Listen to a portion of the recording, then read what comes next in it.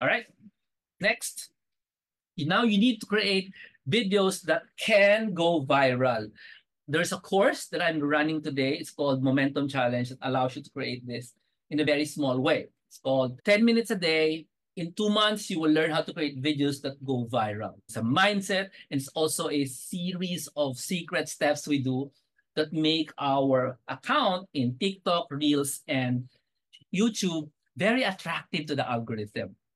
How do you know? Um, join us in the Momentum Challenge.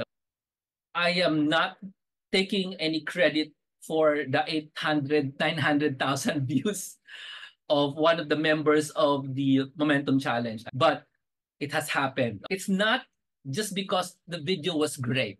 There's a reason for that. That video. You also need to prepare your account. If you're not, you don't have an offer, you don't have the secret sauce that allows you to take advantage of your viral video. Sayang kasi, di ba? It's not just getting a viral video. When you have the viral video, I'm already telling you what to do.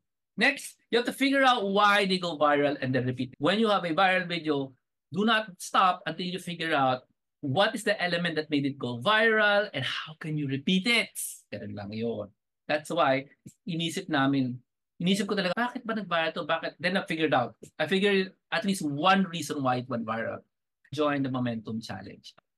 Next, a goal for this year is to make your first three sales. Notice it's not like crazy, like in corporations that you, oh, you must make 200 million this year.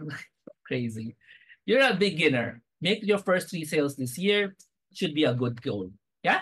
What do you think? Reasonable? Make three sales this year? 2024. I hope so.